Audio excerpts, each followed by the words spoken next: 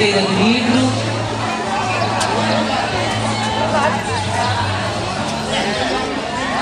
É uma promoção da Prefeitura Municipal de Cachoeira do Sul, do Núcleo Municipal da Cultura, Biblioteca Pública Municipal do Porto Lince, da Amigos e do SESC.